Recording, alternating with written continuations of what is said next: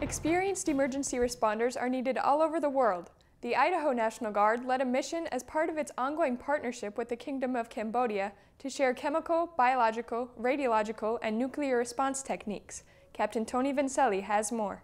CBRN professionals met for a week of classroom discussion and hands on decontamination demonstrations using locally purchased everyday household products. This and other missions here are all part of building a long term relationship between our two countries. This is the first CBRN walkthrough that we've done with their country through a subject matter expert exchange. Uh, they brought up some great items in the after action review that we can further build on our program to further get a great exchange between our countries. This year, Idaho Guardsmen conducted missions in maintenance, logistics, medical, and emergency response.